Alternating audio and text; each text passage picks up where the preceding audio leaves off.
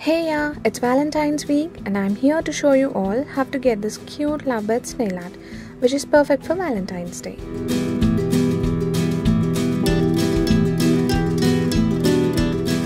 For my lovebird nail art, I'll be using this polish and a few acrylic colors. After base coat, I'll be applying red, pink and black as base colors.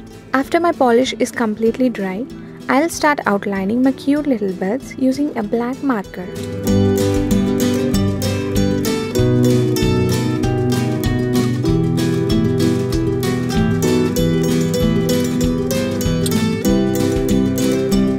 Adding a heart symbolizing love. And then leaves.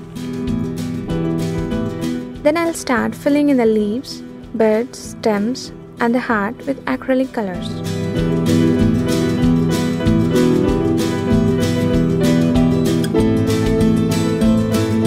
On the index and little fingers, I'll create some hearts with red acrylic color using a thin brush.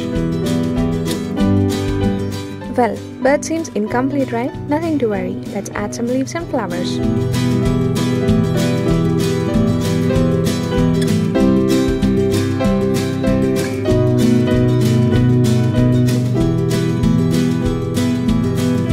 On my thumb, using a thin brush, I'll be making a heart shape, half filled with pink and the other half with red.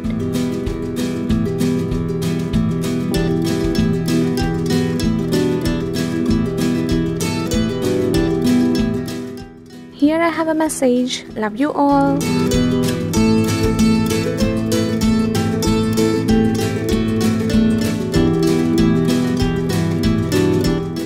Now as a final touch, I'll be applying a cool matte top coat.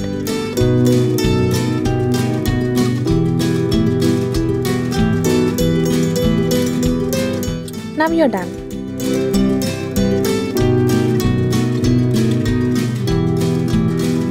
This is for those who love glossy look. If you enjoyed this video, thank you for watching, do share and don't forget to subscribe.